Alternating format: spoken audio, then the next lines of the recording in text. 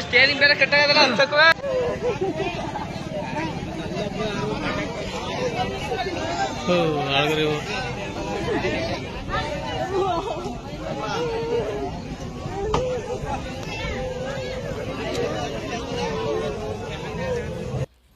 ಹಳ್ಳಕ್ಕೆ ಜಾರಿದ ಐವತ್ತು ಪ್ರಯಾಣಿಕರಿದ್ದ ಕೆಎಸ್ಆರ್ಟಿಸಿ ಬಸ್ ಸ್ಟೇರಿಂಗ್ ರ್ಯಾಡ್ ಕಟ್ಟಾಗಿ ಕೆಎಸ್ಆರ್ಟಿಸಿ ಬಸ್ ಹಳ್ಳಕ್ಕೆ ಬಿದ್ದ ಘಟನೆ ಕೆಆರ್ ನಗರದ ಶ್ರೀರಾಂಪುರ ಬಳಿ ನಡೆದಿದೆ.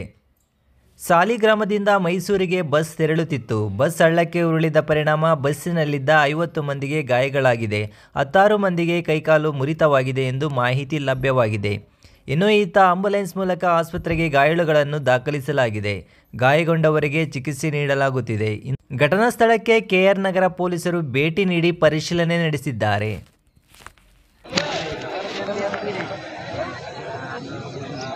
Halos lumot na gusali.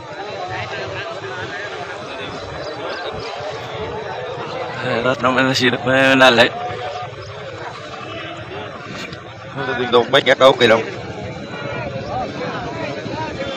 Các đâu đó xin